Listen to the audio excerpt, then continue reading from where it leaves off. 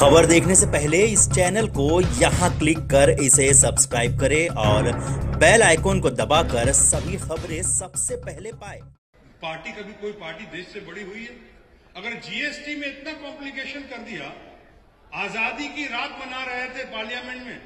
रात के 12 बजे बड़े बड़े लोग बैठे हैं तुम्हारे पास। मैंने टाटा से पूछा, उनसे पूछा, अच्छे अच्छे लोगों से पूछा, सर, कैसा लगा आपको?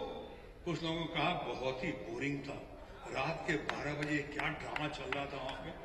वन नेशन वन टैक्स तो वन नेशन सेवन टैक्स कर दिया. वन नेशन सिक्स टैक्स कर दिया. वन नेशन फाइव टैक्स कर दिया. वन नेशन फोर टैक्स कर दिया. और अब जो घबराहट है कैश क्रंच हुआ है, हमें लगता है कहीं वन नेशन फोर्टी टैक्स न कर दे, चालीस टैक्स न कर दे। अली बाबा, चालीस चोर की सरकार दिखती है, जैसा लोग बोलते हैं ये क्या हो रहा मैं बोल रहा हूँ मुझे किसी से कोई व्यक्ति विशेष से ना डर है और ना ही खिलाफत है। मैं भारतीय जनता पार्टी का हूँ, लेकिन उससे पहले भारत की जनता का भारत की जनता का हूँ तो भारत की जनता के हित में बात करूँगा। मैं इसीलिए कह रहा हूँ कि ऐसा नहीं कर दो, अरे देखो, सब पार्टी ना ना ना, यशवंत भाई तो कर रहे हैं। उनका तो मार्गदर्शन मिलेगा। हम तो उनके शिष्य समान हैं, छोटे भाई समान हैं।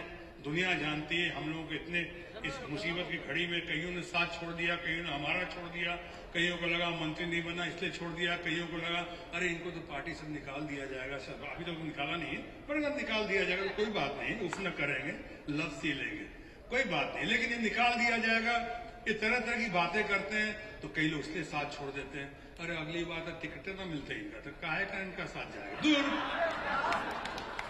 दूर बकलोल, टिकट मिलते कि ना मिलते, हम तो तोहरा साथे